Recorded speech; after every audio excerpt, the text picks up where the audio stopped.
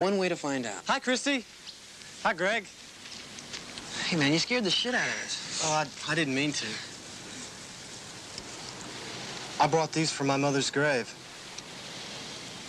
Do you like them? Mm-hmm.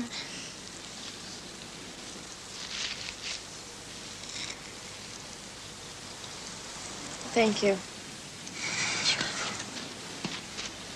He's got a crush on you. Are you jealous? Of him? No, no, I feel kind of sorry for him.